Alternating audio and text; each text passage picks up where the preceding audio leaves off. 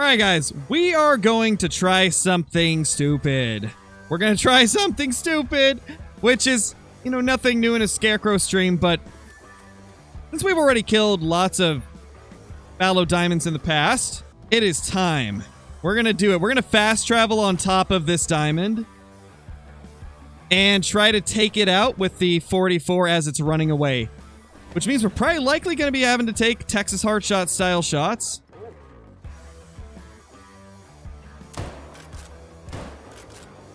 And down he goes. That should be vitals. First shot was vitals, actually. Wow.